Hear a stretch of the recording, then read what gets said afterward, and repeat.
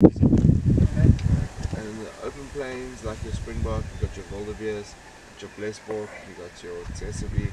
All of those animals are in the open area, so they have horns, the females as well. So like your your impalas, the females don't have horns, and they're generally in the thickets, you could say. But there's so many that have been pushed out into the open as well. Right. But there are so many, and they they are mixed feeders, so they eat off the trees as well, not just grazers.